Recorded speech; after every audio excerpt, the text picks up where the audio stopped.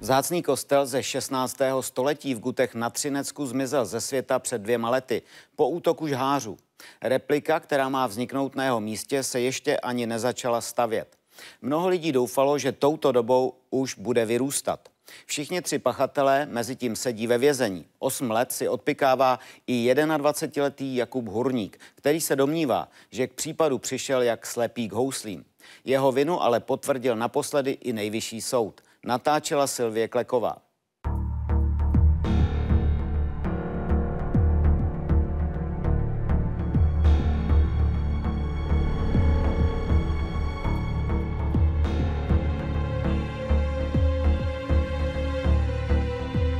Jedeme za Kubou a nervózní jsme hodně, protože to nikdy nevíme, co, jak bude, jaká návštěva. To vždycky říkáme, že ty návštěvy jsou po každé jinak, protože jak to na něho padne, tak...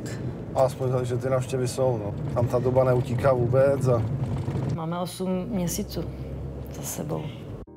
Brány vězení se za ním zavřely loni těsně před Vánoci. Tehdy 20-letého Jakuba Hurníka doprovodili jeho blízcí i řada přátel a známých. Do vězení ho poslali soudy za to, že jako řidič pomohl před dvěma roky dalším dvěma odsouzeným při podpálení vzácného dřevěného kostela v Gutech na Třinecku.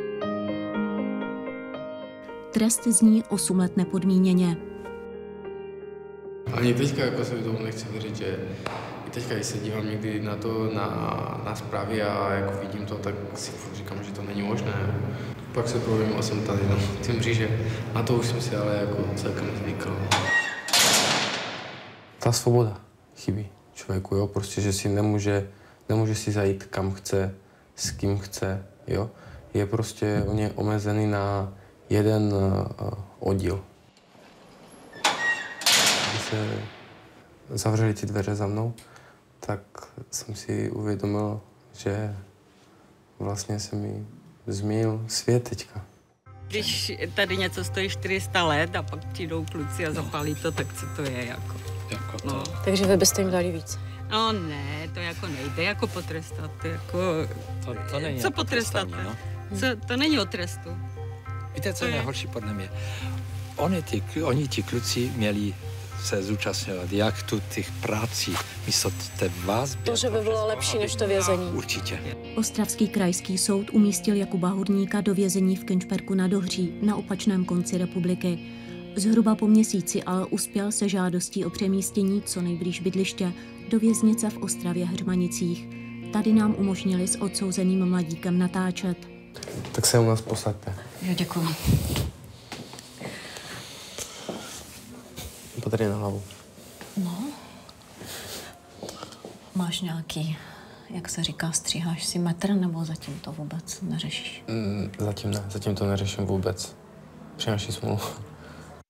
Tak tady to, to je vlastně celý můj svět. Můj největší poklad je asi tady fotky moje, mm-hmm. rodiny, přátel, všech. Kom se ti nejvíc stýská? Pokom? Vo všech. Ještě na svobodě stihl Jakub složit maturitu. Ve věznici se zapojil do několika aktivit a absolvoval i kurz v oboru elektro. Jako můžu být rád, že jsem tady v Heřmanicích, jakoby u rodiny, že nemusí nikam dojíždět daleko. Odsouzený má nárok na tři hodiny návštěv v měsíci, které si může rozdělit.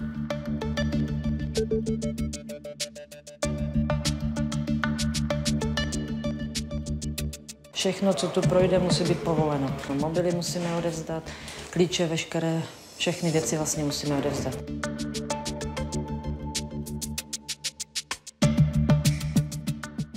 Chceš jídlo, nebo ti to stačí? Ano, to bude sedět? Kde máš? To nemůžu, Sofie.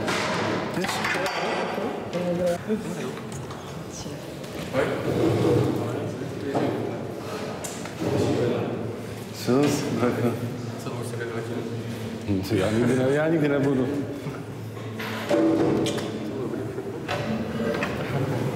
Pořád to probíráme, no, je to pořád jako...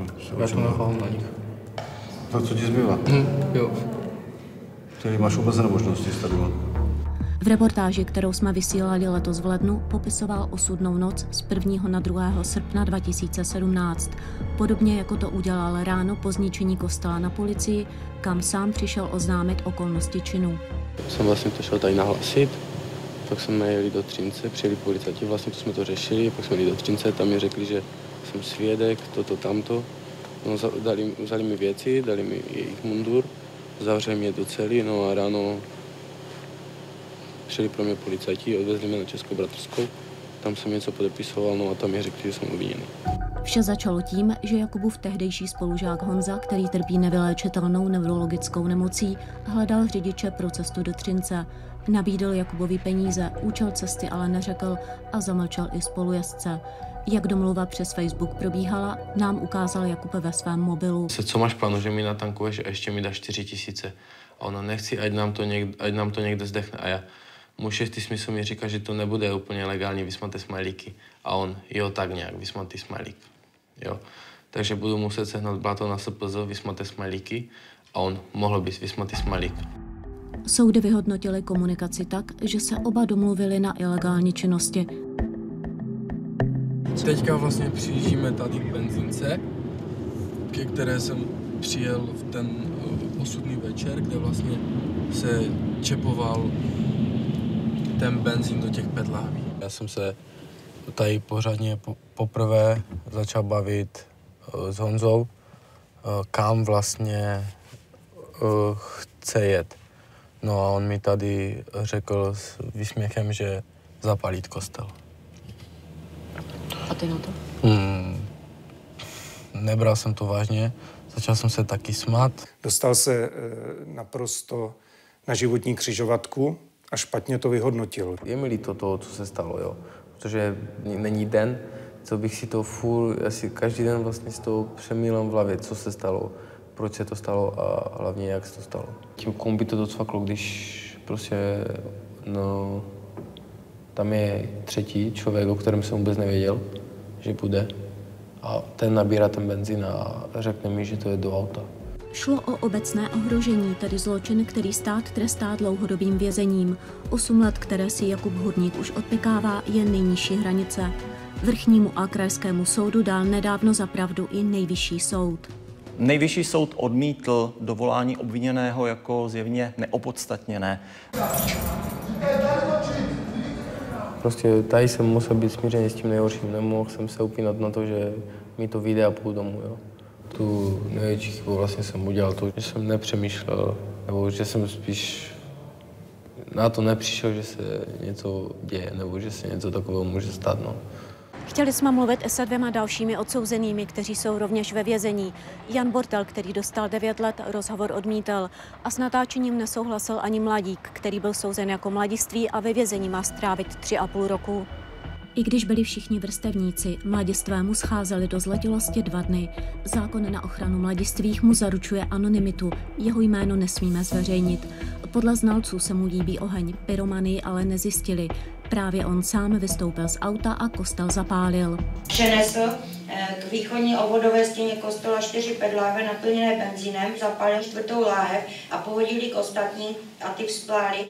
No a když přišel, tak tak uh, nalehal jako na mě, že mám jet. Jo, a uh, Honza se opak zeptal, jestli už to hoří.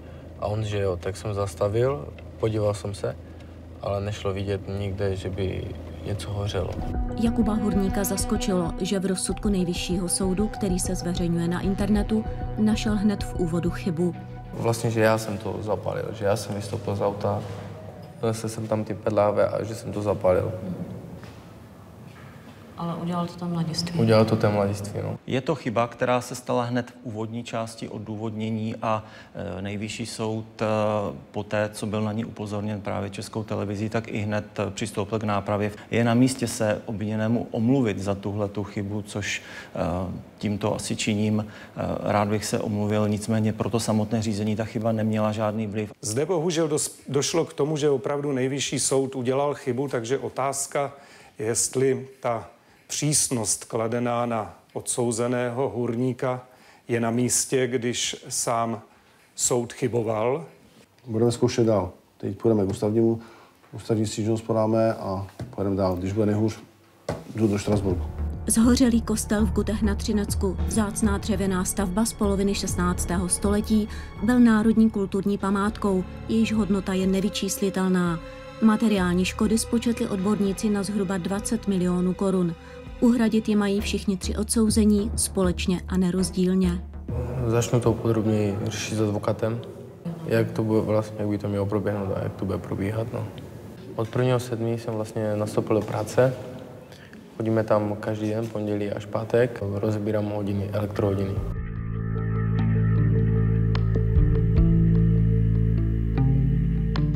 Místní lidé v Gutech a okolí doufali, že se co nejdříve začne stavět replika kostela. Hradit by se měla zatím z pojistky. Co do terminu, to już dawno jsem se z toho vyléčil. E, Są przyprawione e, te drzewiane pyrwki, które, które już są proschle, a z nadziei czekamy, e, że w průběhu září to stavební povolení by mohlo už vidět denní světlo. Na místě zhořelého kostelíka Božího těla se lidé i po více než dvou letech stále scházejí na mších i při jiných příležitostech, přímo pod čirým nebem. Zrovna dnes jsme se rozloučili e, s farníkem Jiří, Jiřím Krężelokiem. Měl 94 roky. Hrozně si přál dožít se toho nového kostela. To bylo jeho životní přání teď na ve stáří. Opravdu, ze srdce, to říkám.